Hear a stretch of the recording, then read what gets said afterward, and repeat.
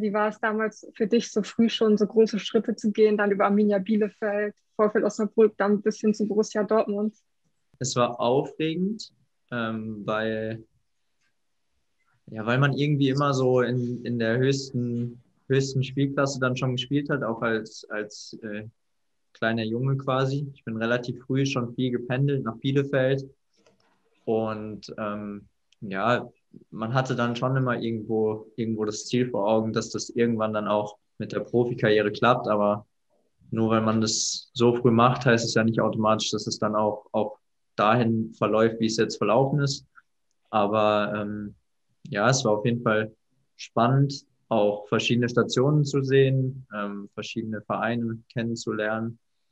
Deswegen ähm, bin ich eigentlich ganz froh, dass, dass es schon so früh ähm, ja, so losgegangen ist. Also du hast ja fast jedem Hinspiel eigentlich mit im Kader gestanden oder hast selbst auch gespielt. Welches Spiel ist da bei dir besonders in Erinnerung geblieben und auf welches freust du dich jetzt zum Beispiel als Revanche oder so? Gegen Arminia vielleicht, die Heimat.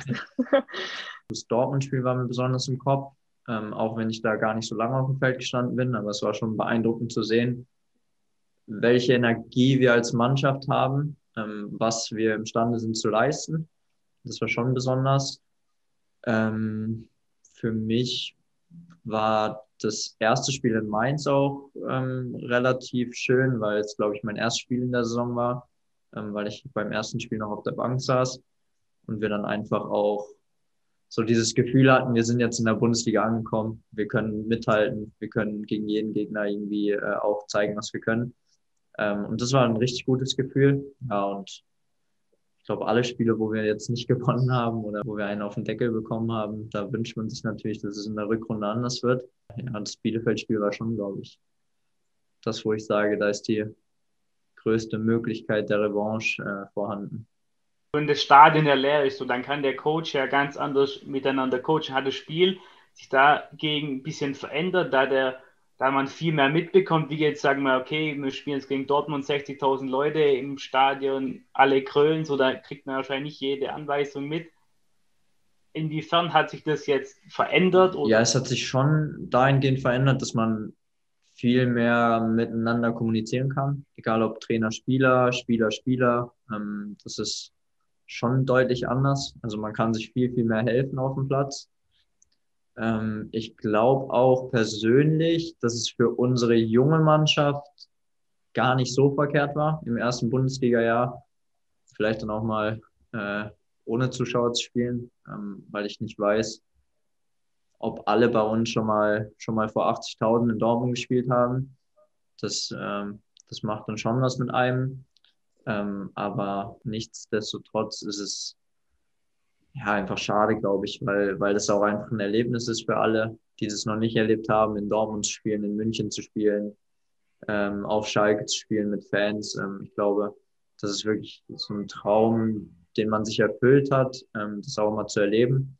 Deswegen einerseits vielleicht druckmäßig gut und ähm, für unsere junge Mannschaft ähm, ja in Ordnung, aber andererseits fehlt natürlich auch ein großes Stück. Ich wollte noch fragen, was du so für ein Schüler warst früher zu, zu Schulzeiten. Warst du eher so ein guter Schüler, der so immer richtig viel Lust hatte zu lernen oder eher so ein ganz normaler Schüler oder halt eher so, nee, keine Lust zu lernen?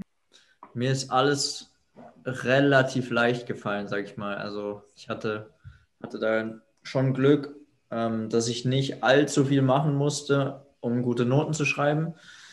Ähm, hätte ich mehr gemacht, sähe das Ganze wahrscheinlich noch besser aus. Da war ich schon ein bisschen faul, aber ähm, ich kann mich nicht beschweren. Ich glaube, ich habe mein Abitur mit 2,4 bestanden, ähm, ohne mir da ein Bein auszureißen. Deswegen, also so ein Mittelding. Ähm, teils faul, teils was in die Wiege gelegt bekommen und das hat dann irgendwie gereicht. Aber jetzt im Nachhinein hätte ich schon eher gesagt, hätte sich ein bisschen mehr angestrengt, wäre das Ganze noch ein bisschen besser gewesen. Und vielleicht magst du noch zwei, drei abschließende Worte an die Runde verlieren und dann, ja, wünsche ich euch einen schönen Abend. Es hat mich gefreut. Ähm, ich fand eure Fragen alle, alle richtig gut.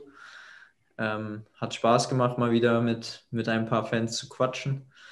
Und äh, ja, ich hoffe, dass wir uns irgendwie schnellstmöglich mal wieder im Stadion sehen. Ich glaube, das Wichtigste ist, dass ihr gesund und munter bleibt in der Zeit.